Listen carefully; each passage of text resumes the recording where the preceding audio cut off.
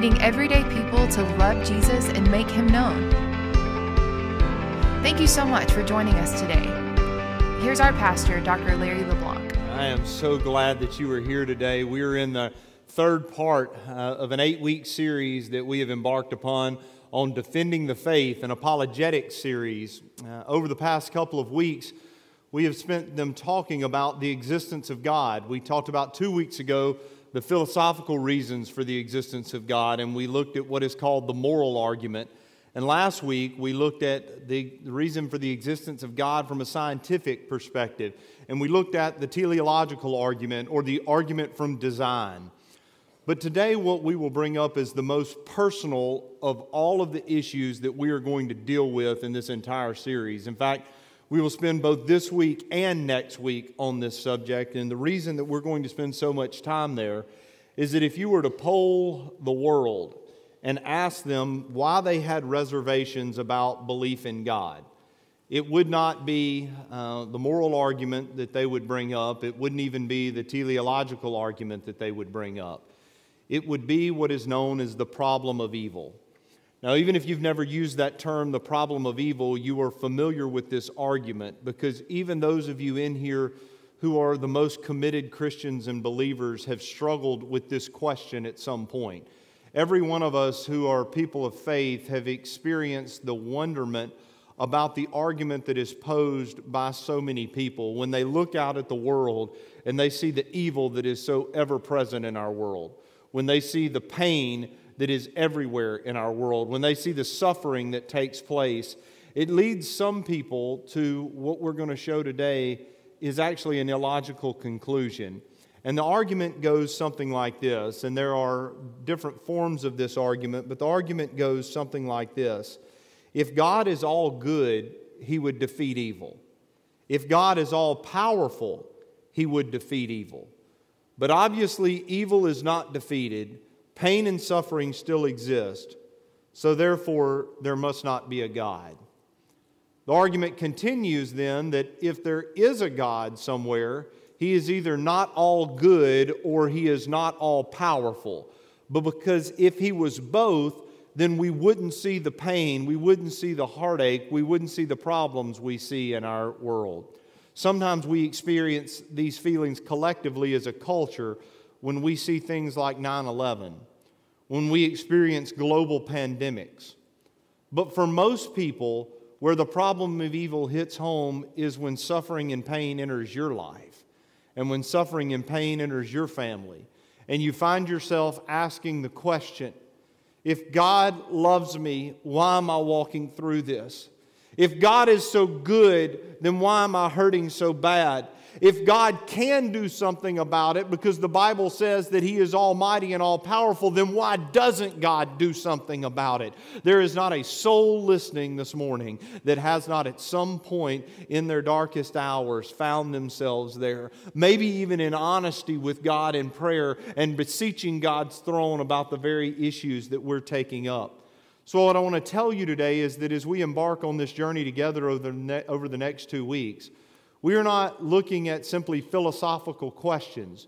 We're not looking at just questions that might come out of a philosophy of religion textbook, but we're looking at questions that affect us as a society, and we're looking at questions that affect you and I individually in our everyday life. Yet we know that verses like Romans 8 28 that say that all things work together for the good of those who love him and are called according to his purpose. We know that the Bible tells us unequivocally that God is good, that he is holy, holy, holy. We know that hundreds of times in the Bible that the omnipotence of God is referred to. Most often it is he is referred to as almighty throughout scripture. And so we know that the Bible teaches that He is pure, that He is righteous, that He is holy, so therefore He is good. But we also know that the Bible teaches that He is omnipotent or all powerful. So we find ourselves asking the question how do God's omnipotence and how does God's holiness fit in when we see a world that seems ransacked by evil, ransacked by pain, ransacked by suffering? How does Romans 8 28 for we know that in all things God works for the good of those who love him and who are called according to his purpose. How does Romans 8:28 fit into the problem of evil and suffering? And that is what we're going to walk through today. I've placed more notes on the screen the past few weeks than I normally place on the screen. Uh, we're asking a big question over the next several weeks, and what we'll do is try to answer those big questions with big answers. And so, the first answer I would give you as we address this question is that the question itself gives an answer. The question itself gives an answer. And you say, okay, Larry, I guess you're going to play word games in trying to answer this. Just think with me for a moment.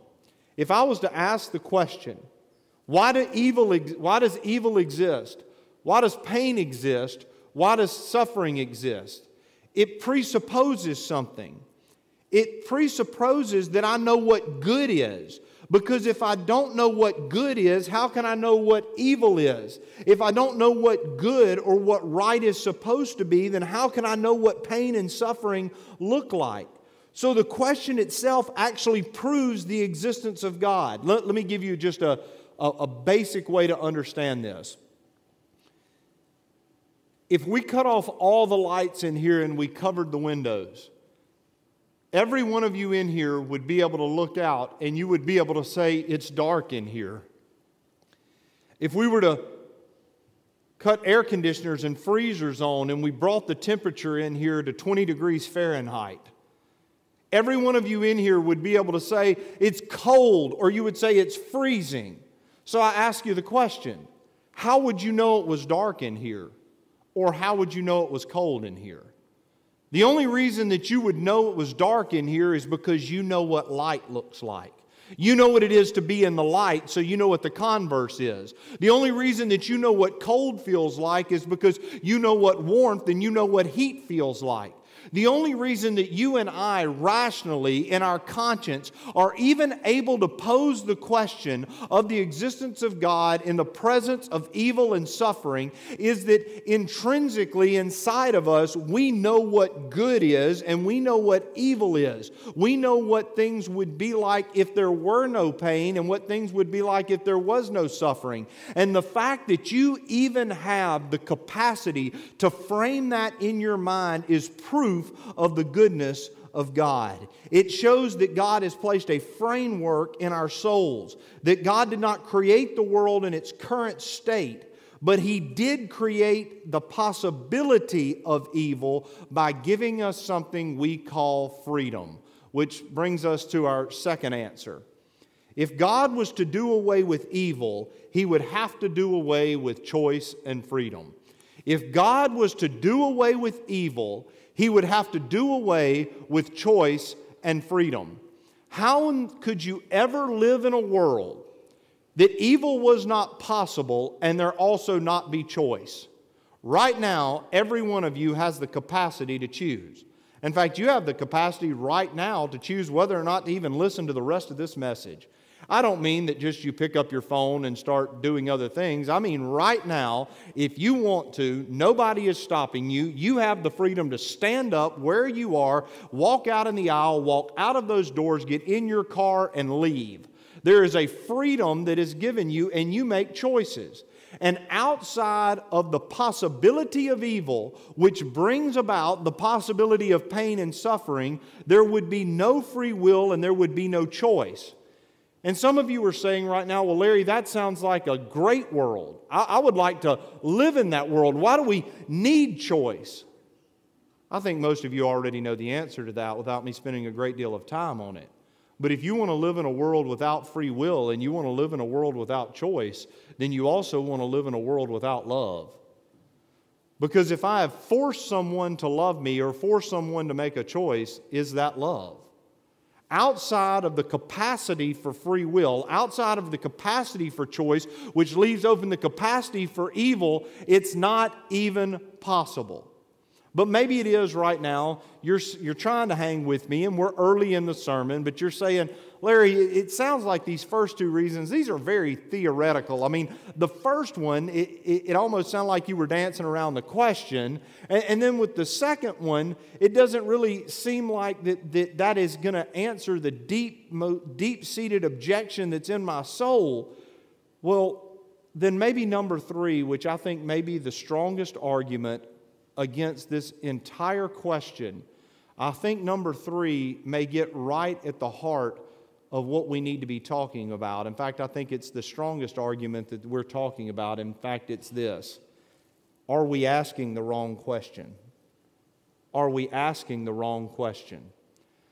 Let me phrase how the problem of evil is coined by most people in our culture.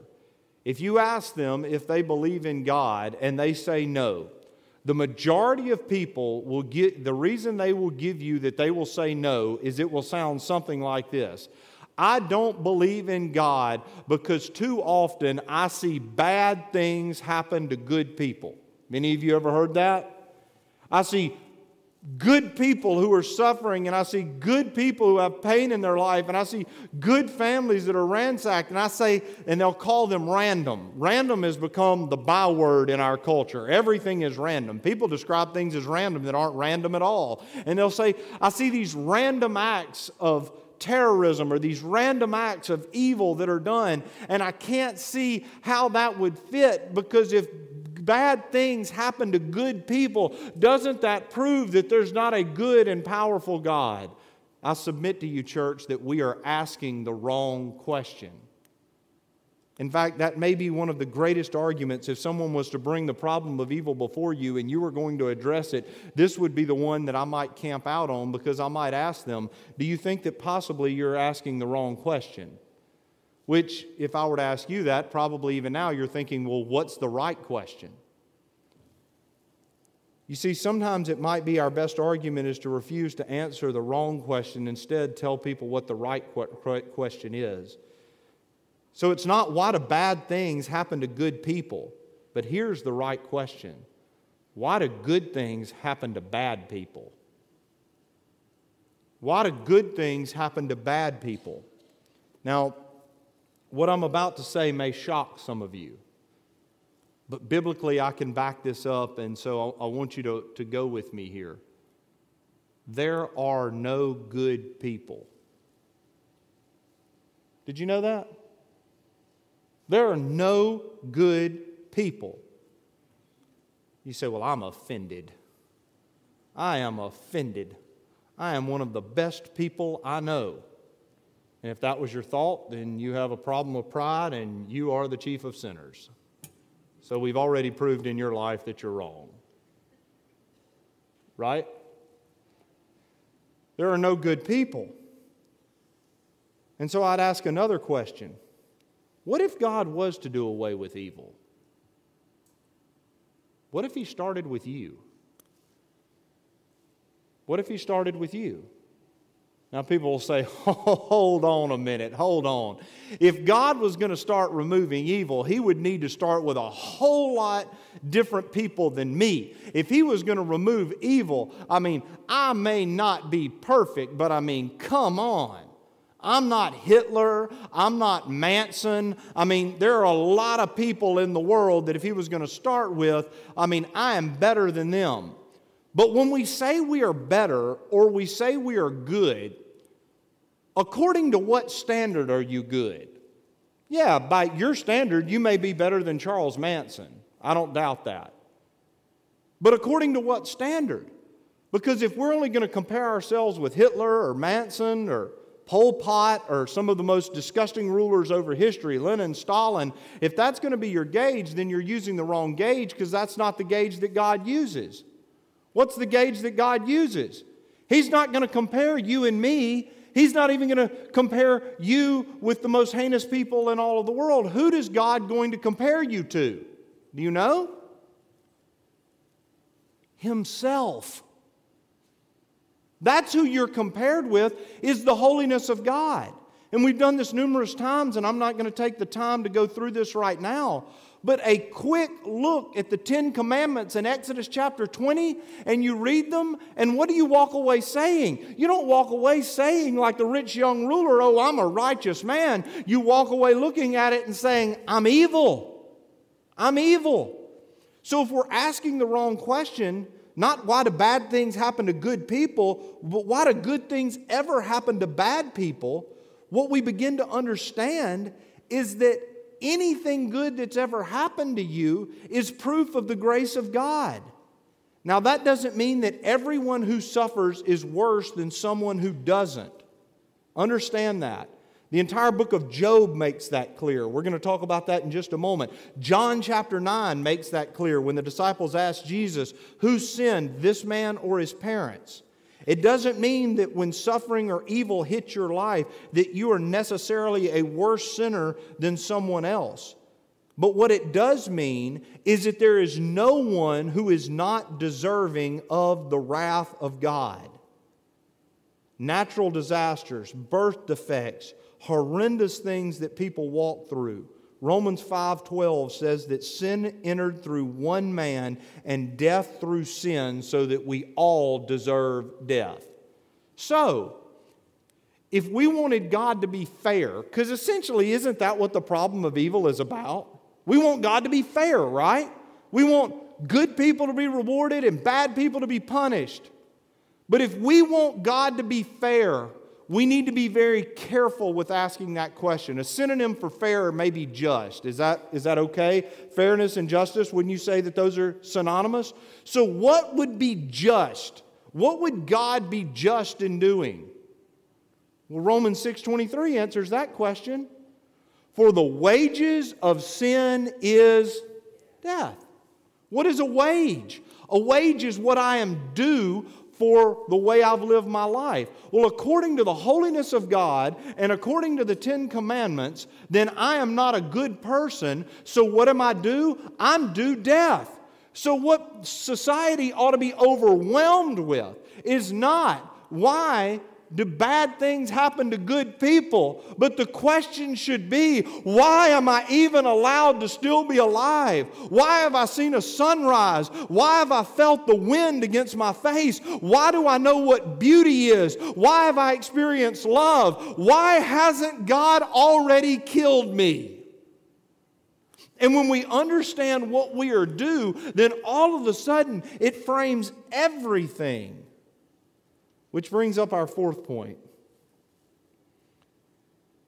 that just because God hasn't ended evil and suffering, that doesn't mean that He won't.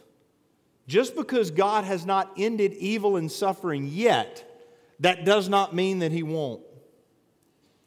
Jesus said, In this life you will have trouble.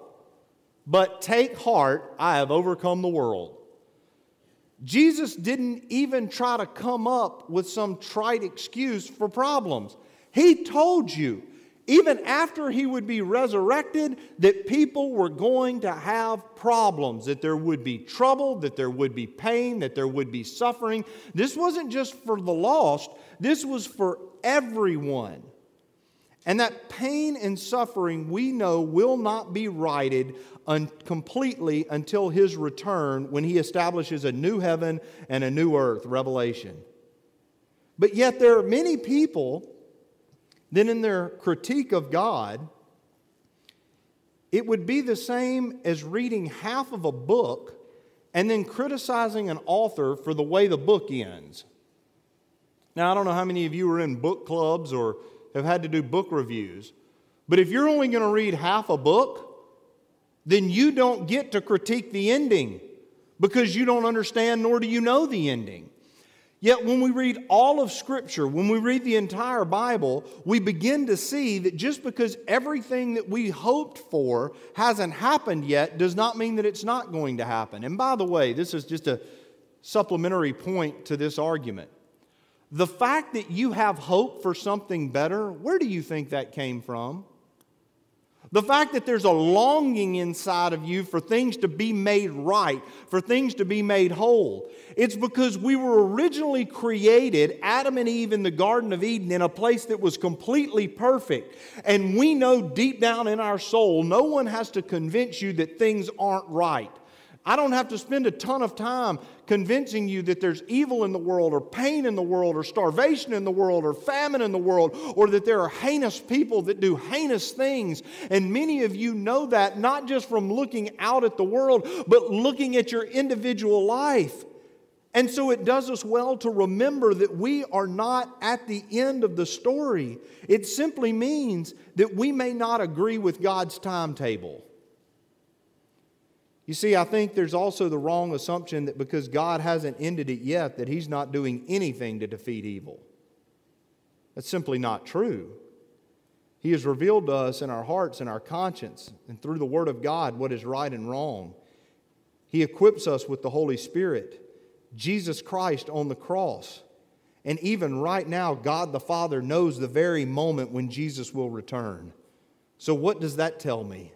It tells me that even right now, though I can't see or perceive all of the actions of God, that God is working on behalf of His world and He's working on behalf of my life to do those things which are unseen to bring about a world that is perfect, a world that Revelation says will have no more crying and no more weeping and no more pain and no more tears. Which brings us to what I believe is number five, and I believe this maybe just under number three is, is an argument that, that needs to be espoused. And I'm going to phrase this in the form of a question. If God were to one on one explain the problem of evil to you, to you, do you really think you'd understand it? Do you really believe that in your limited mental, spiritual capacity you would understand it? I'll prove to you biblically that you wouldn't understand it because it's happened before. If you want to keep your Bible in Romans 8 28, you want to flip back and you want to open your Bible to Job verses 38 through 40. Let me just tell you kind of how that went. There is an arrogance that exists when we think we can't, because we can't understand something, then it doesn't make sense or there is no point in it. Have you ever tried to teach a child math, some math concept, and they beat their fist and they say, I don't understand this. I'm never going to need this. I'm not going to do this anymore. Well, inherent in the child's argument is that it doesn't make sense because they don't understand it. Because I don't know how to do this, it can't be understood. But yet, adults people like you and I take that same argument into every theological circle and we say things like, if we can't get it, then it must just not make sense. How arrogant do you have to be to believe that? When you serve an infinite God who Isaiah says his ways are higher than your ways and his thoughts are higher than your thoughts. But Job's friends, and by the way, if you've got friends like Job's, you need to find new friends. They tried to explain to him why he was suffering, and what was their answer? They said, The reason you've had all these problems is because you're sorry. That's a Mississippi translation of Job. They said, You're sorry. You're a sinner. God's punishing you because of how you've lived your life. That was their answer, which may be at times an answer, and it may actually be an answer but not in every scenario or circumstance. So, Job, throughout this, eventually says, I'd like to have my day in court with God. He asked that three letter question that all of you have asked at some point in your life. It's a question that your children have asked since they came into this world, and some of them ask it incessantly. And do you know the question I'm talking about now? Why, why, why, why? Till eventually you say something as a parent that sounds like this. Have you ever said this? Because I said so. Job 38 through 40 is God saying, Because I said so. Because God has not spoken up throughout the book of Job, and all of a sudden, in chapter 38 of Job, it says that the Lord speaks out of the storm. And if you haven't read Job yet, you may sit there with bated breath going, oh, he's going to give the perfect answer to the problem of evil. But do you know what God does? He uses the same argument that we used last week the argument from design. And instead of being questioned, he takes the role of the attorney, the prosecutor. And God says, You've been asking a lot of questions of me, so why don't we flip the tables and I'm going to ask a few questions of you? And in Job chapter 38, he asks the question Who is it that darkens my counsel with words without knowledge? Brace yourself like a man. I'll question you, and you answer me. Do you want God to be the one asking you that question? You want to question me? Well, then sit down. I've got some questions myself. Brace yourself like a man. And then God, and I don't have time to walk through every one of the questions, but he asks questions about the earth. And he says in verse 5, Who marked off its dimensions? And then do you see what he says next? Surely you know. That's sarcastic. That's God using sarcasm. Who marked off the dimensions of the earth? Well, you're such a genius, and obviously you know everything about everything, and you know the reason for everything that I do, so surely you know how I marked off the earth's dimensions. When I created the world, you know exactly how I did that, so why don't you tell me how that worked? We're already in trouble, and we're just in the first few verses. Verse 12 Have you ever given orders to the morning or shown the dawn its place? Do you make the sun to rise? Do you make the earth to spin on its axis? No, you don't do that either. Have you ever journeyed to the springs of the sea or walked in the recesses of the deep? You know what's interesting? That even now, in 2020, we've never been to the bottom of the ocean. We still can't answer that question. You haven't even been to the bottom of the ocean. In fact, he's saying, when you can get to the bottom of the ocean and you can explain to me how the ocean was made, then come back and maybe I'll answer your question. God keeps going and He keeps giving example after example. You don't even know when the mountain goats give birth, verse 39, verse 1. Do you even know when the doe bears are fawn? Did you let the wild donkeys go free? Did the hawk take flight by your wisdom? In other words, did you design a bird to be able to fly? And then in verse chapter 40, verse 2, will the one who contends with the Almighty correct him? In other words, are you the one who's going to question me? Will you discredit, verse 8? Will you discredit my justice? Would you condemn me to justify yourself? Over and over again, God begins to show Job and all of his so called friends that they have no clue what they're talking about. Now,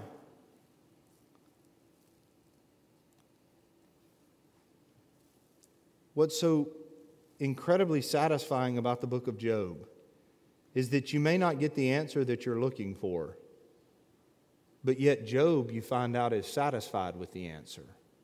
Why? Why could Job be satisfied with the answer when so many of us can't be satisfied with the answer? The reason is is because in the answer Job encountered God. See, there are a lot of people who are looking for philosophical explanations, but when they encounter the God of the explanation, the place in their life that they've been looking to be filled is found. Job may not have had every answer to every question that he had asked, but he had God himself. And Job began to realize, and what you find out in the book of Job is that his pain had made a chasm inside his life that only God could fill. And friends, I would tell you if there was no pain and if there was no evil in the world, there are many of you that would have never learned to long for God and seek for God.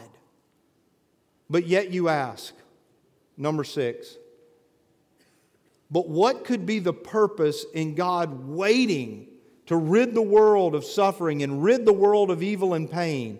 What would be the purpose in God waiting when He could end it now? Let me ask you what I believe to be a great question.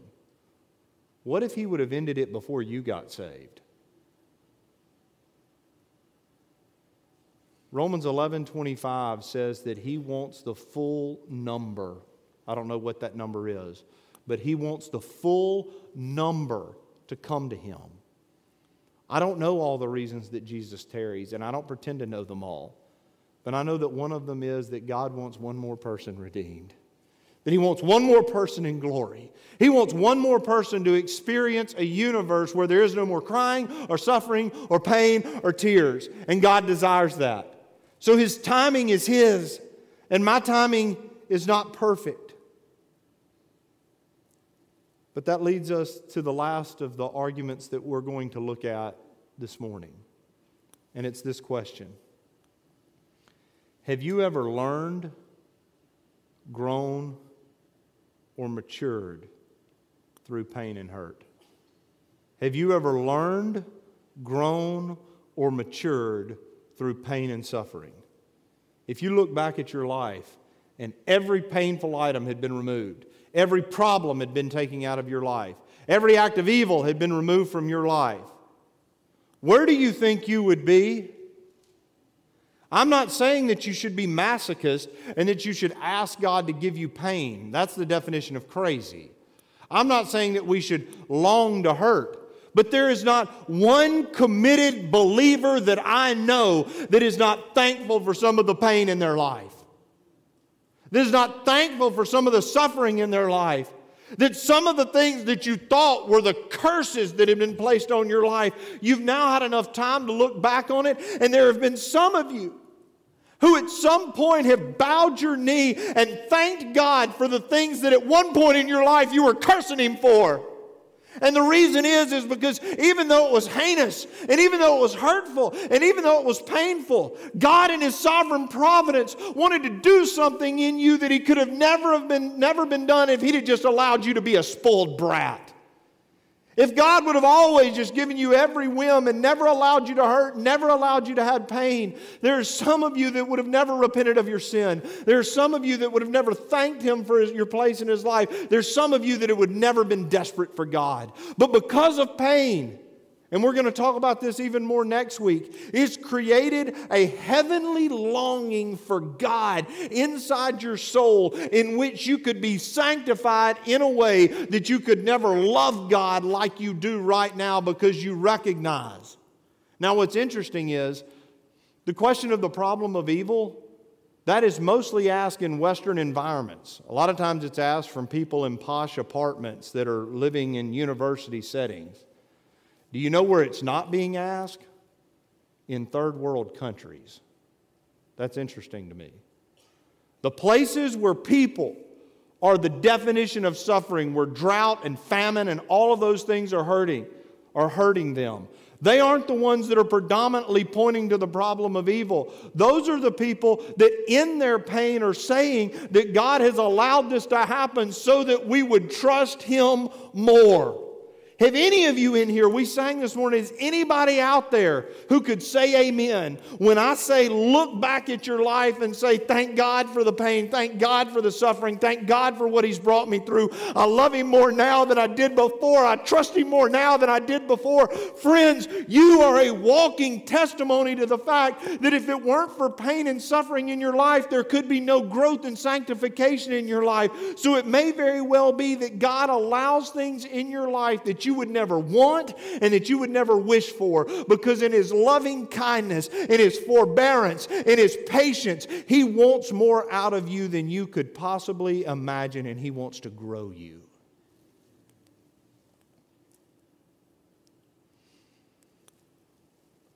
Evil, pain, suffering. They are wedges they are wedges that either drive us to Almighty God or they will draw us away from God. So I want us to conclude today with a very simple question. The pain in your life and the evil that you witness. Is it drawing you closer to God? Or is it pushing you further away?